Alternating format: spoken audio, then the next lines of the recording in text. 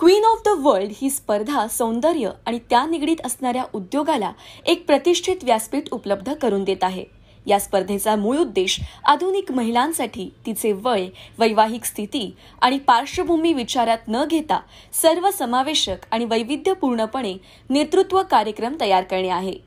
Queen of the world India glamour आत्मविश्वास आणि सौंदर्य या गोष्टींना महत्त्व देत प्रत्येक स्पर्धकाला वैयक्तिक वाढीसाठी उत्कृष्ट अनुभव प्रदान करते.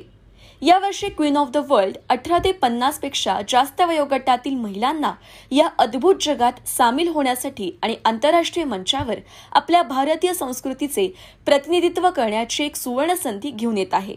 यावर्षी पंधरा ते वीस ऑक्टोबर या दरम्यान पार पडणाऱ्या या स्पर्धेत संपूर्ण देशभरातील अठरा ते पासष्ट वयोगटातील साठ स्पर्धक सहभागी होणार असून ज्यांची मुंबई दिल्ली दक्षिण आणि पूर्व विभागामधून ऑडिशनद्वारे निवड झाली आहे.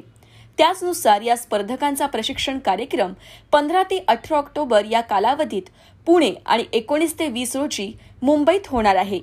यावर्षी क्वीन ऑफ द वर्ल्ड दोन हजार बावीस वीस ऑक्टोबर रोजी पार पडणाऱ्या अंतिम सोयासाठी करिश्मा कपूरसह इतर काही प्रसिद्ध बॉलिवूड सेलिब्रिटी आणि विविध क्षेत्रांमधील उद्योजक पाहुणे सुद्धा या कार्यक्रमाला हजेरी लावणार आहेत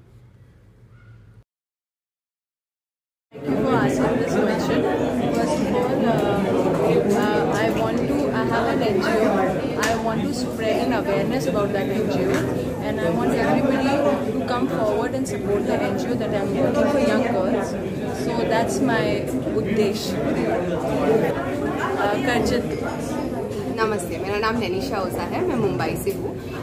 मेरा ये कंपटीशन में पार्ट लेने का मेन मोटिव ये है कि मैं औरतों की तरफ़ एक पॉजिटिविटी बढ़ाना चाहती हूँ। हर औरत अपने बॉडी में कंफर्टेबल हो, एक एम्पावरमेंट हो, वो वो चीज़ मुझे स्प्रेड करनी है।